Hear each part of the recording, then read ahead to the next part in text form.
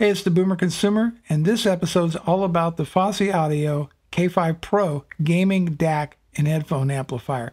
As a disclaimer, this was sent to me at no cost by Fosi Audio. However, all opinions are my own, and no one has reviewed this video prior to posting. For more information, I do have an Amazon link down in the description below.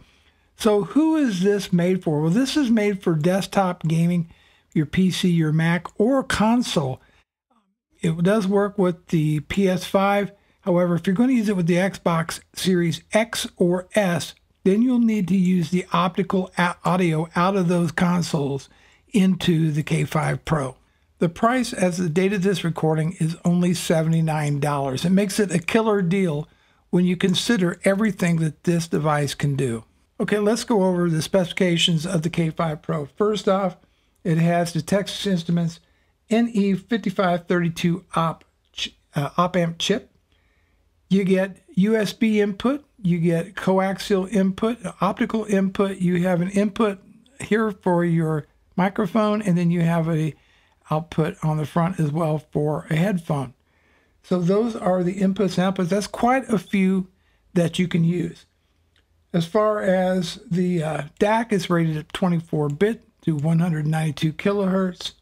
Output power is a 1000 milliwatts at 16 ohms, 500 at 32, 300 at 64, and then 150 at 128 ohms, and 80 at 300 ohms.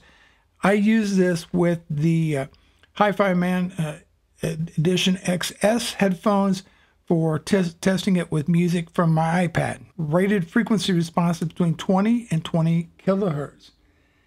Recommended headphone impedance for this is between 16 to 300 ohms, so it should drive just about any headphone very, very well.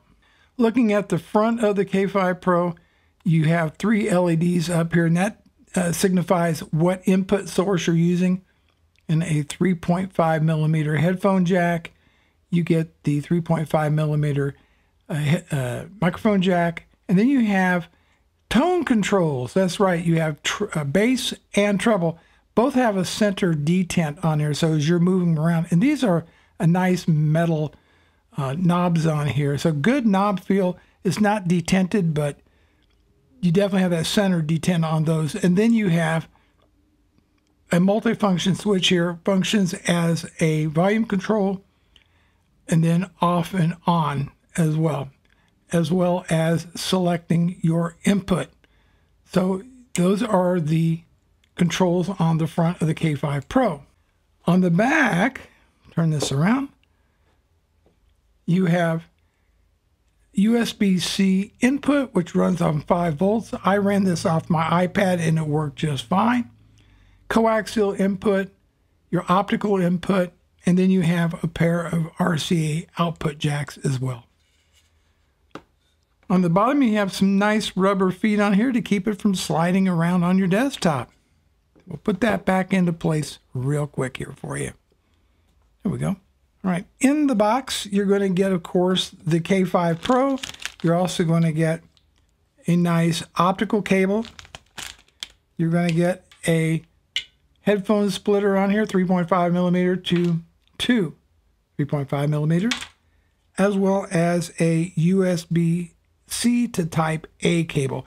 That's what's included in the box. Oh, and you also get this little handy dandy user manual. As I mentioned, this is designed for PC gaming as well as your PS5 and other consoles. However, you do, if you're using Xbox, you do have to use the optical audio out. You could use it as a preamp because you do have this nice handy dandy volume control on here. Now, I use the sources uh, iPad Pro for listening to music and an Alienware desktop or laptop, I should say, for uh, for gaming, and I happen to use this with Microsoft Flight Simulator. And one thing I liked is you didn't get much in the way of crosstalk with the mic uh, input on here, which is a very good thing because uh, on some of them you just get this kind of noise and staticky type of sound. Did not run into that with the uh, K5 Pro. For music, uh, just some sample uh, that I use. Now, I, I, actually have quite a long playlist that I put it through. But I played uh, Juno Wins the World Cup. I think that used to be called Scientists Win the World Cup. It's kind of a reggae. You, you just have to hear it. It's a fantastic sounding album. Then uh, went to Hey Jude from the Beatles.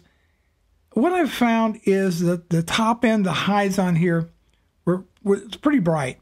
And I found myself using the tone controls to dial back the treble a little bit. And then I also noticed when I was listening to Dire Straits Sultans of Swing that the bass seemed a little bit weak on here.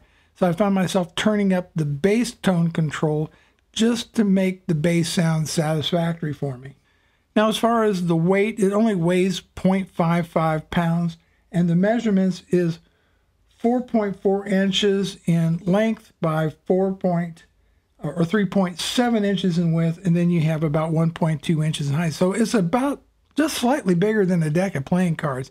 It's portable, man. You can throw this in a backpack, in a bag, whatever, and take that with you and use it with your device on the go. Now let's talk about the pros and cons. First off, for the pros, you get a really great price for a good combination DAC and headphone amplifier. The build quality, metal cabinet on here, aluminum, feels very, very well made. You get a nice small footprint.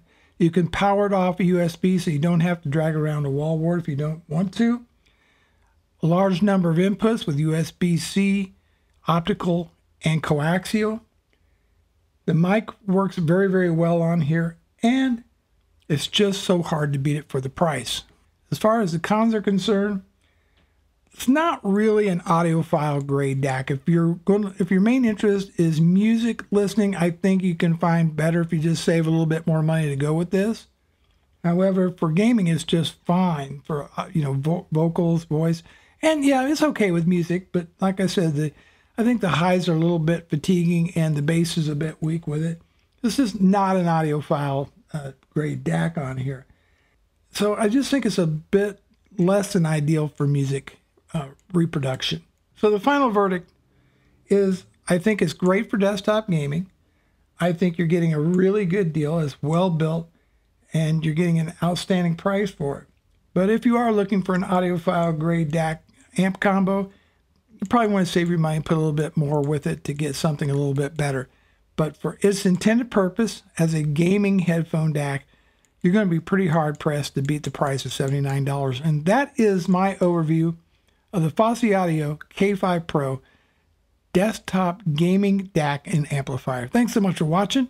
I'll see you in the next video.